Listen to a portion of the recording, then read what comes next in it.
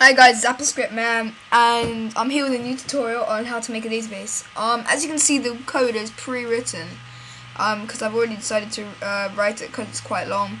I'm gonna go through all the code, um, for you guys, and I'm gonna post the code on the description, uh, so you can just copy and paste it and do what I say. Now, basically, I I assume that you've watched my beginner's tutorial, um, because that will be really useful for understanding a lot of what I'm saying. Um, but I will try and explain it if, I have the time. Okay, so basically, I've set a whole lot of letters to different names. Okay, these are going to be the names of our members in the database. Okay. So for example, I set S to Sam Price. Okay, so um, when this is the a string. Um, basically S stands in for Sam Price. Okay, so it just makes things quicker. Now I've set X to text returned of the display dialog.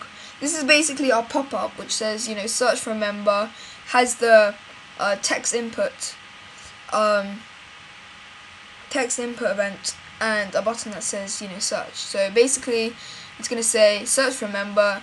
The default answer in the text input um, area is enter the name here, and our buttons, the button will say search. Okay. Now, basically, um, we're going to start, here's the actual query code um, here and then on.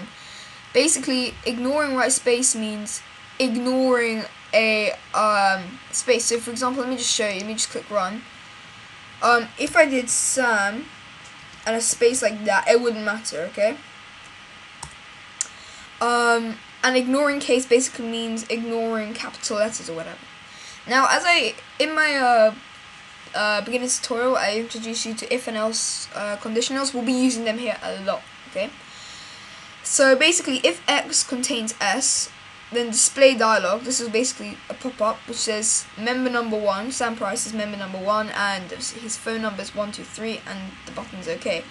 And remember, S is Sam Price, so basically, if X contains uh, Sam Price, then display this dialog. Um, and remember, X is the text returned, of the original dialogue. So let me just show you what I mean. I click run, enter the name here, Sam Price, and we should, there you go, see that there's this display dialog, which is right there, okay?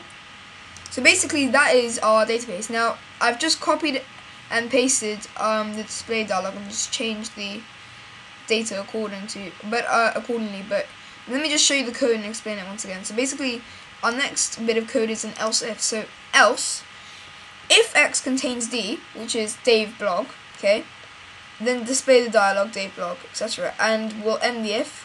And it just goes on and on with our eight uh, members, and then we end our document with end ignoring, end ignoring, because remember we did ignoring case and ignoring white space, and that is basically the database. Um, I'll show I'll show it to you if you want. Click run.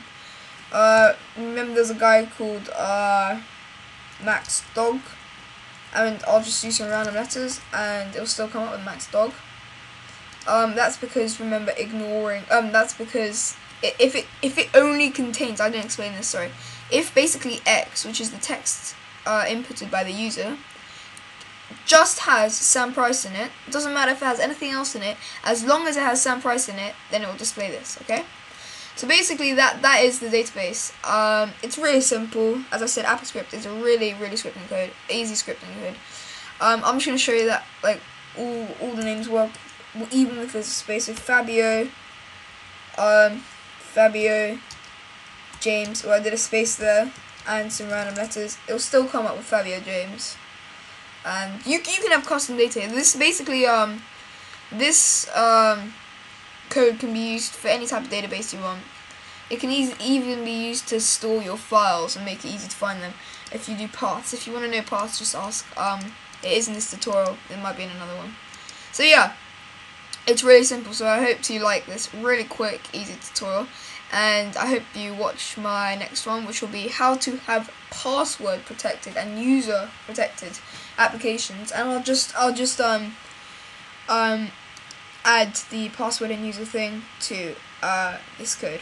So yeah, hope you liked it, and be sure to uh, subscribe and stuff. Thanks.